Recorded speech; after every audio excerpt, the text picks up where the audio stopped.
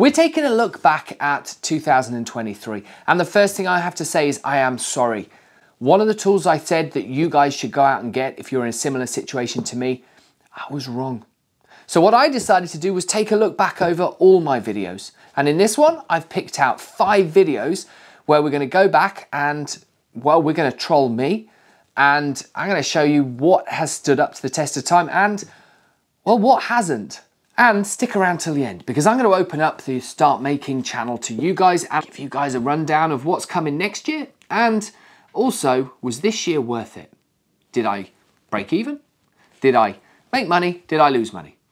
We won't go into details, but I'll answer that question for you. And affiliate links are part of the lifeblood of a small channel. I am sorry, I know you get bombarded with so many of them and red sponsors and all of this, but when you're the size that we are, we have to do a few affiliate links. Everything you see in this video is down in the description, but I will tell you at the end what the three most popular tools have been this year through the clicks. Right, let's leap straight in with the first video. And I have to say, this was the second most popular video that I released last year. So thank you for everybody who viewed it. We're gonna whiz through this really quickly. And spoiler alert, when I come to the end and tell you the three best-selling items that you guys have clicked on this year, some of them might be here. This video was aimed at trying to give advice to people just starting out on their woodworking journey and these are some of the tools that I think make it easier. Now, let's have a look back and see if that information is still accurate. Sandpaper. What I said was 3M extract for your everyday stuff, but if you are just doing something that requires cheap sandpaper, use that, but make sure it's got holes for your dust extraction. I 100% stand by that. That is the best sandpaper I have ever used. And if I'm just doing a rough job, I use that for everything else. If I'm picking up one of these mice, I got the cheap stuff on it, whatever I can find. This is a no-brainer. If you're working in a tight space, this right angle drill bit holder, say no more. I stand by that. Let's quickly move on to the saws. I claimed that a Japanese pull saw is better than your traditional Western saw. But I'm gonna say there is one caveat here. The flush trim saw is amazing, but if I want to cut square, then this style saw and a bench hook seems to give me better results. Another one with fine print, I recommended these pencils. Pica make them, Tracer make them. The reason I did is for all the features listed in the video, but you guys were right. You said to me that the one with the thick lead is only good for rough construction. And when I was building this workshop, you were absolutely spot on. It goes blunt a little bit too quick to use for your everyday marking out. So I picked up this one, the Pica propelling pencil, and I went for the H leads so that they've got more stability to them. And that, matched with that, I now think is the perfect pencil set. However, for all of you saying a perfectly good propelling pencil and a normal HB sharpenable pencil is pretty good, yeah, you are absolutely right. I just like the fact these have a holster, so you don't lose them. The Kreg jig over the portable jig. Now, I swear by this Kreg jig. It's easy, it's repeatable, it's accurate, and you get a better finish than what I was getting with the handheld Wolfcraft. However, I've used this less this year than I've used the handheld one because I've been using it to get into tight spaces. You cannot do that with this one. And on top of that, I did quite a lot of work with 2x4s when I was making my planters, and I couldn't even get a 2x4 into this. So, yes, this is the best way to get good quality pocket holes. However, don't chuck away your cheap ones or your portable little ones. They are priceless. And I am sorry that I said that you don't need it. I love this Veritas honing guide. However, and this is a big however, it is expensive. You could probably buy five of these for the same price, the cheaper one. I stand by one of the things that I said. This is the best I've ever used for plane blades. The reason for that is the stability of the wide wheel, but now you can get the cheaper ones that cover that. So on top of that, I like the fact that it comes with the guide, so you get the depth, so you get the right angle on your blade. However, you can get a block that you stick wood to that counteracts that. So what I'm saying, I guess, here is both work. But the one place this fails, and it's frustrated me since getting it, is chisels. You cannot really grip a thin chisel in this without buying the attachment, which is another however many pounds or dollars, whatever you buy it in. And that frustrates me. So I go with both. This is for my chisels and this is for my planes. Now, it's not ideal, but at least now you know. I forgot tool number eight. Sorry. This is a self-centered drill bit. No, that's egotistical. Self-centering drill bit. Whether you go with the expensive or the cheap, both of them will come in really useful, but this one will always feel better when you use it. I guess the message I was trying to get throughout that video to anybody watching is we all do woodworking differently and we all start with a different circumstance, budget, etc. Work with what you've got, take the advice you can afford to take, but also do what you feel more comfortable with because at the end of the day, that's what you can do. And you'll enjoy this a lot more that way. I did make one promise at the start that there was going to be some new things in here to talk about, and I'm not just rehashing old footage and information because you guys have probably watched most of it. So here it is. You want to buy the woodworker or the maker in your life one thing this year, and you want it to be something that you know they probably don't have. Well, here it is, and it won't cost you very much at all. That. You see these all over the place with sellotape in it, scotch tape. What drives me nuts about this blue tape, and again, watch videos, it has infinite uses, but what drives me nuts is trying to find the end. Have it there so that you can always rip a little bit off every time you need to use it for everything. And then, double up your efficiency. Stick a French cleat on it. You buy that for a maker this Christmas, they will love you, and you've only spent a couple of quid. The next video we're going to talk about is definitely in my top five for beginners. I wish that alongside a plane video or a sharpening video, I wish I'd found this one at the start of my woodworking journey because it would have saved me so much grief and poor results. Now, beginner woodworkers don't want to go out and buy a table saw or a miter saw right from the get-go. So what do you do? For me, this is still the first tool that I bought with a powered option for cutting wood, my circular saw but they are not accurate freehand, not unless you're an expert. Beginners, you have to try and work around what you have. So if you're doing rip cuts, a straight edge and some clamps gets the job done. You could even do what I did when I was cutting the roof. You could knock together your very own parallel guide track saw kind of thing. If you're cutting 2x4s all day long or something simple, this and a speed square works perfectly. But what if you want to take it up a little bit and get repeatability and a bit more accuracy? Well, that's where I said in my thumbnail, really, Kreg? Have you just nailed square cuts? And then we put it to the test. Now, this was about seven months ago that I got this, and at the time I tested it for a month or so before talking about it, and I loved it. And I have to say, I still love it. Sure, it's not perfect, and it's only as perfect as how square your base and your blade is on your circular saw. Is it still something I would recommend for the price? Firstly, if you're watching over in the US, 100% yes because I've seen it in the shops, anything as low as seven to eight dollars. Usually it's about 20. In the UK, it goes between 45 and 59. I paid, I think, about 60 pound for mine. And even then, I still think yes, but it's more of a question of can you justify the cost in your woodworking. Here's the thing with this that a speed square can't do. A speed square cannot give you the repeatability that this can do. Stick a stop block on it and you can actually start to cut really accurately and repetitively. Secondly, for a beginner woodworker, the safety element of this compared to a speed square is much higher because the bars, so long as your hands are nowhere near the bars, you know you're nowhere near the blade. The finish, because you have the base in there, you're going to get a zero clearance insert of sorts kind of finish, which will stop tear out. But is it as good as I said in the video? You know what, I have to be completely honest with you. The clamps have come off since I've had it and I don't miss them.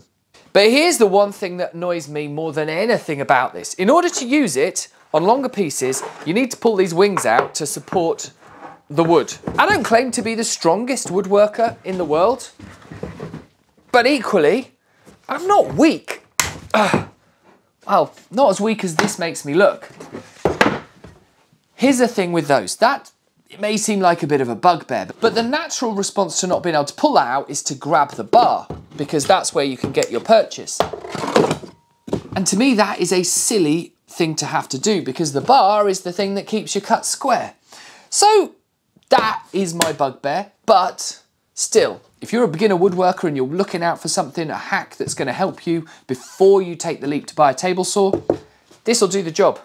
I've come to the first big bit of news for next year and for the videos you're gonna see in the future. I have taken the plunge and it scares me a little bit, but I have bought myself a table saw. I've gone with a contractor saw. I've gone with what I think is one of the better ones um, due to the fence and that's going to be coming up in future videos. I really hope you stick with me for that, but let me just put your mind at ease.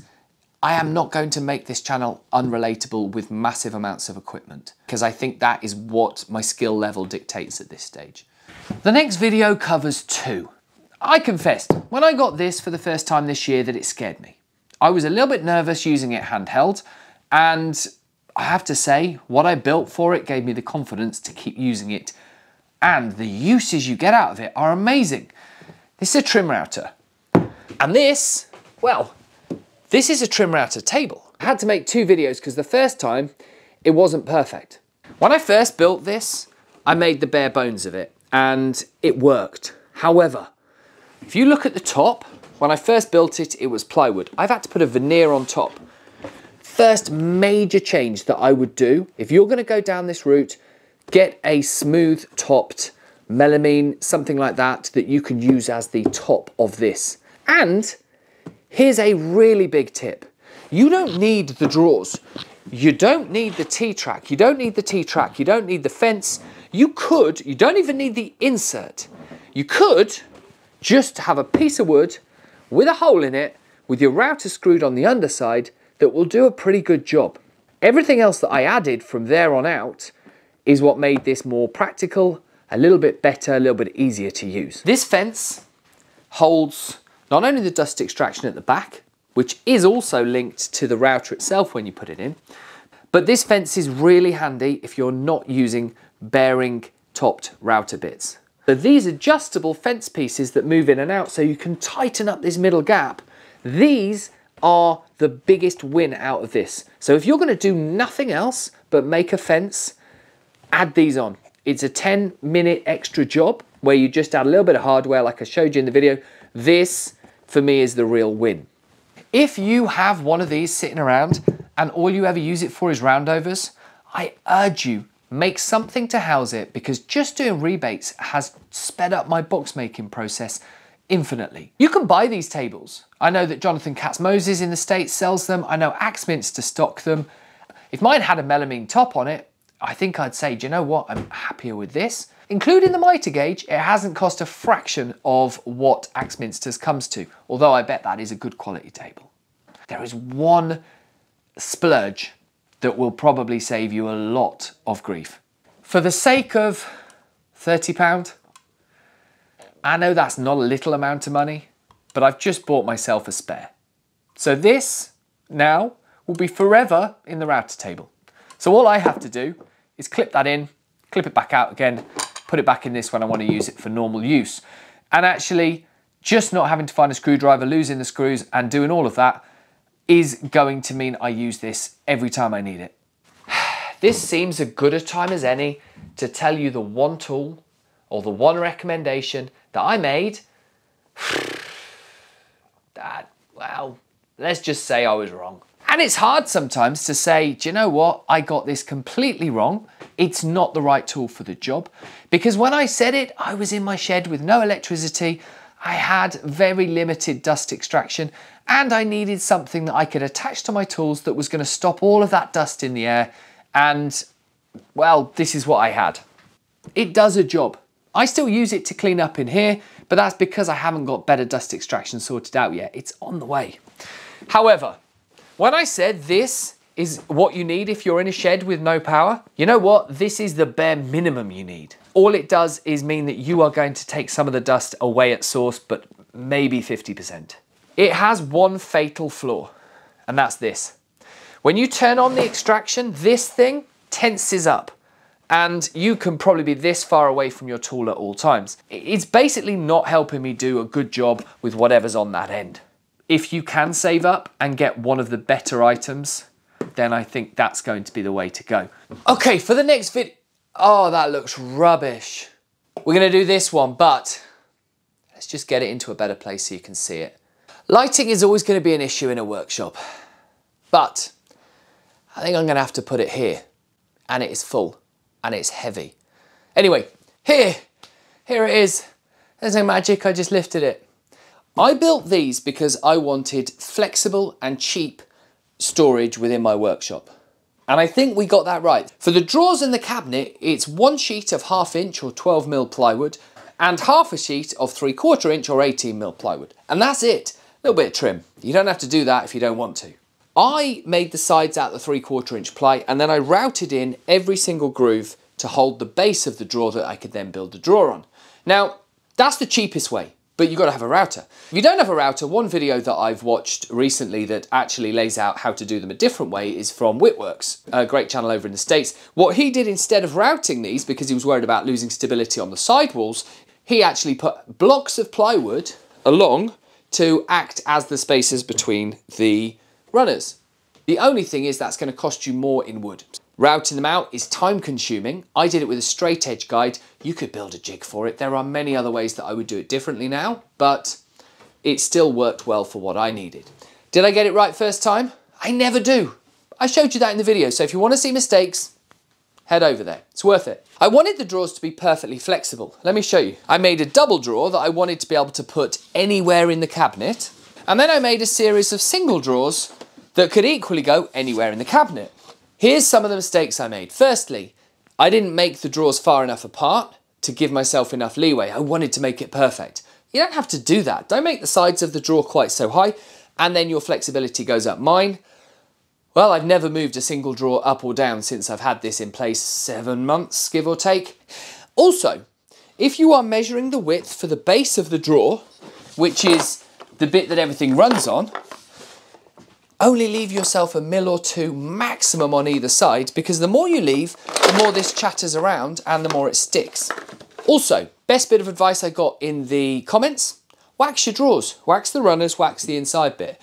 I did that and now they slide in beautifully. In and out, no problems at all. This one is a basic one, but it covers all builds you do with a circular saw and plywood. When you're doing a long cut across the grain, or any cut really, on a piece of plywood, tape up the line you're going to cut because I had tear out all over this project and I kept telling myself it's a shop project, no one's gonna care. I care. As you can see here, the sides just go straight into the front. You could put another face on these and then you won't have to worry about how you're attaching it. However, I put nails in because you know what? I don't care about the aesthetics that much and I wanted to get the project done. Everything else about this I'm really happy with, especially this. This is something I'm immensely proud of. And this is something that just came to me while I was building this. Sharpening. It's something that I am so lazy about, but if I make it this easy, surely I'm gonna do it more. And all it is is a tray that just fits in and all your sharpening stuff's right there whenever you need it. If you can do this anywhere in your workshop where maybe it slides under your workbench, maybe it just goes in one of your cupboards, but it's all together on one of these and you can just clamp it to your workbench, makes this way better than it was before. I have one idea and I want you guys to tell me if this is silly or if this is smart. What if you make a series of these trays and don't put drawers on them, don't even put fronts on them. Just have a series of trays in a unit like this. What if then you put on each of your trays the jigs that you use on your workbench? I'm talking about your bench hook.